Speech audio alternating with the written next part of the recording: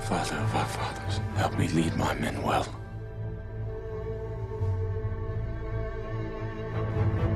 Do not let me dishonor my legion. Please help me regain my family's honor. Our new commander, Marcus Aquila. Fourth cohort of Gaul, Second Legion. This your first command, sir? It is. Ah! Ready? On my command!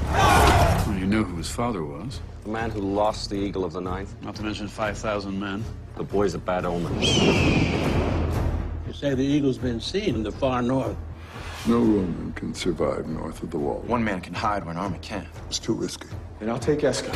He's a slave. He does what he does because he has to. I heard everything you stand for. He will slit your throat the minute you're alone. Open the gate, soldier.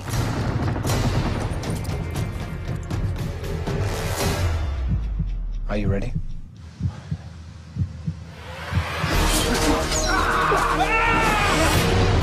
How can a piece of metal mean so much to you? The eagle is not a piece of metal. The eagle is Rome. Who has the eagle? He knows. He's one of them. Your tribe butchered my father's men like dogs. Your father came to kill! You're still my slave!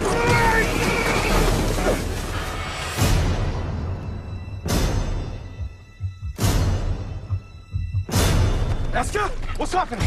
Get on your knees! You're my slaves. Do as I did for you, and you'll survive.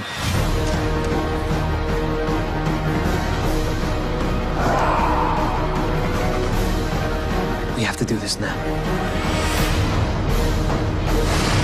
They're coming.